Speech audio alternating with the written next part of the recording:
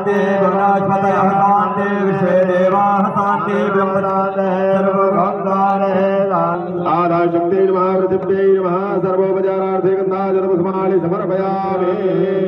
सोमो राजा विद्वान् प्रतिक्रियता प्रत्यक्ष धूपं दर्शयामि। आज उत्तर प्रदेश के माननीय मुख्यमंत्री श्री योगी आदित्यनाथ जी की सरकार की ओर से एक बहुत बड़े विकास की सौगात मिली है।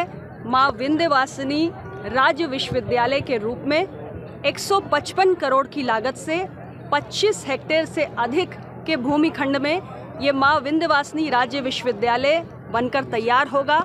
आज माननीय मुख्यमंत्री जी के कर कमलों द्वारा उसका शिलान्यास हुआ है। पूरे जनपद की ओर से माननीय मुख्यमंत्री जी को सहृदय कृतज्ञता ज्ञापित करती हूँ। हमारे जनपद में उच्च शिक्षा की दृष्टि से उठाया गया ये बहुत बड़ा कदम है। जो आने वाले समय में जनपद मिर्ज़ापुर ही नहीं, अपितु आसपास के अनेकों ज़िलों के विद्यार्थियों के लिए उच्च शिक्षा की बेहतर सुविधाएँ और व्यवस्थाएँ प्रदान करेगा और उच्च शिक्षा के क्षेत्र में एक बहुत बड़ी क्रांति लाएगा।